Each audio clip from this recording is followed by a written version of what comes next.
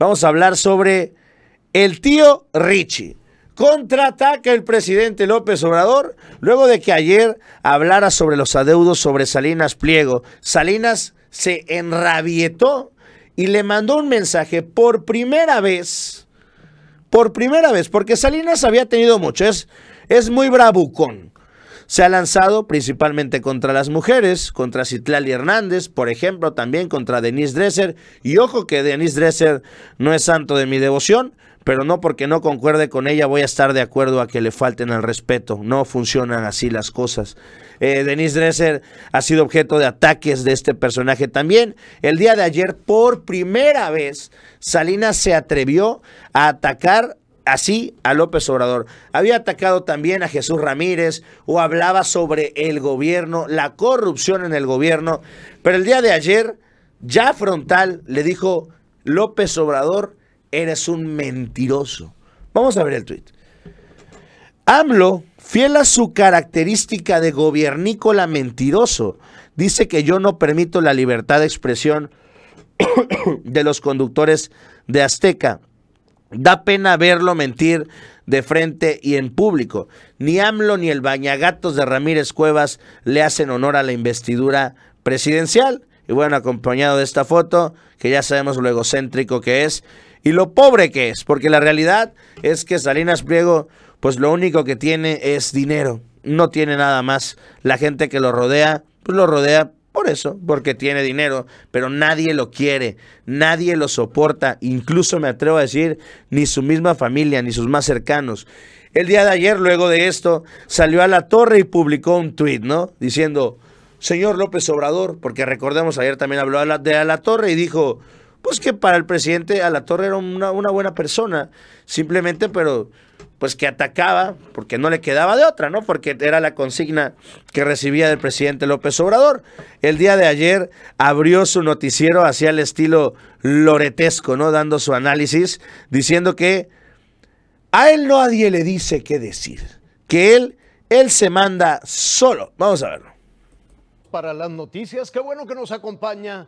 Yo soy Javier Alatorre, pero mire, antes de iniciar con la información, yo quisiera compartirle una reflexión personal. Esta mañana el presidente López Obrador se refirió a mi trabajo periodístico. Le agradezco al presidente que siempre se refiere a mí como una persona honesta y hoy dijo como una buena persona. En efecto, yo conozco al presidente López Obrador desde hace muchos años y valoro su amistad. Pero justo eso, el conocerlo a él, el conocer su proyecto político desde hace muchos años me permite decir que en una amistad respetuosa se puede disentir. Es más, se debe disentir. Se necesita aceptar y valorar la crítica con libertad.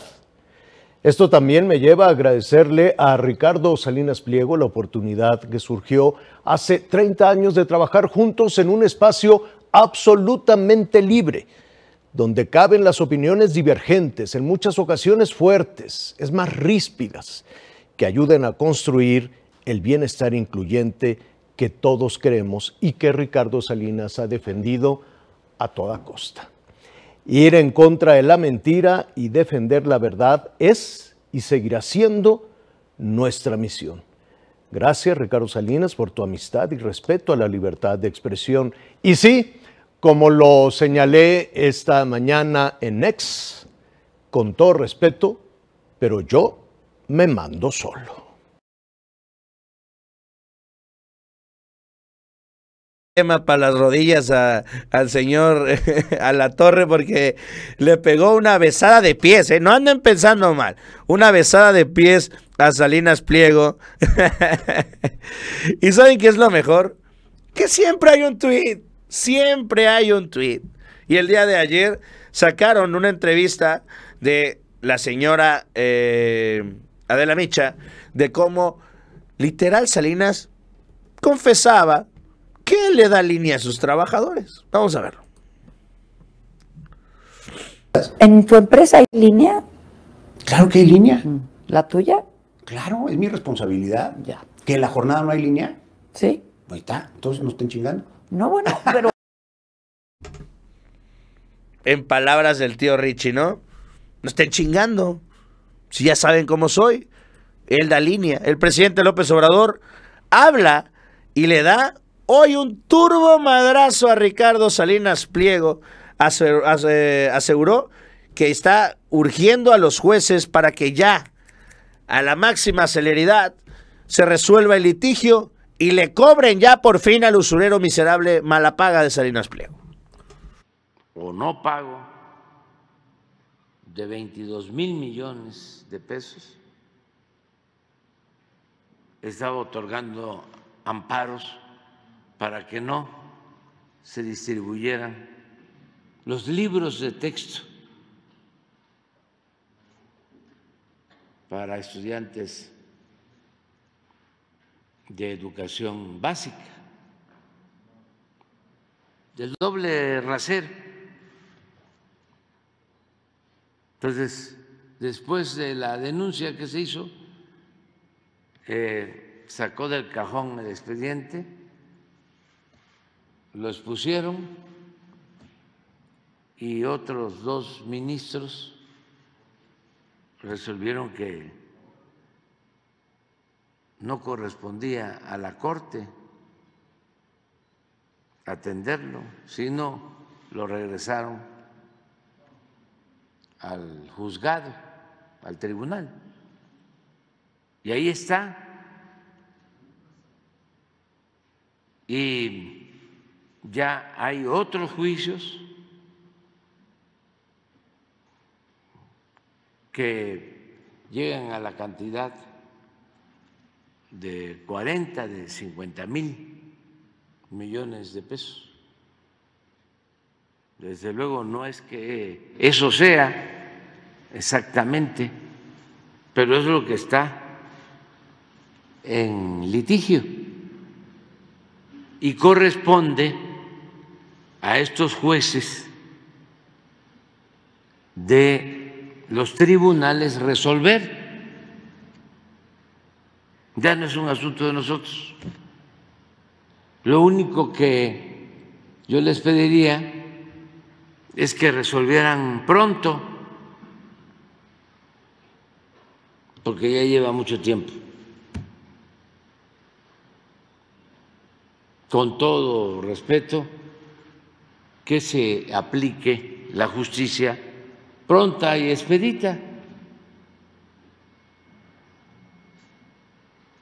Que no se esperen cinco meses a que termine mi gobierno.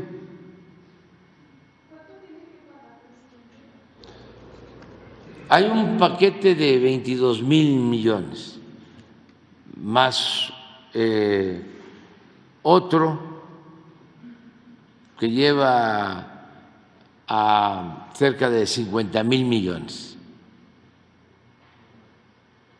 Eso es lo que está en cuestión. Luego eh,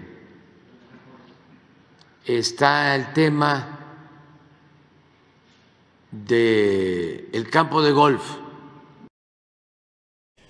Pues así se la cantaron entonces a Salinas Pliego, ¿no? Es un adeudo de 70. es una locura. Cada vez sube más. Nos quedamos en cuánto? 60 y feria, ¿no? 67, 68 era por ahí. Bueno, ya va en 72. ¿Saben por qué me da gusto? Porque así le aplica él. Tú le debes un día a Electra y te cobran 10 pesos de recargo. Le debes dos días, te cobran 100. Cuatro días, 500. Diez días, 1000. Así se las gasta Salinas Pliego.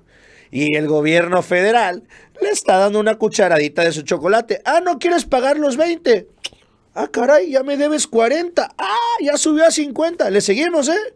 Le seguimos. Así, te sacan hasta la estufa. Es correcto. Así le van a hacer a Salinas Pliego. Y si algo vamos a disfrutar es cuando veamos ese lujoso yate siendo rematado para devolverle al pueblo lo robado.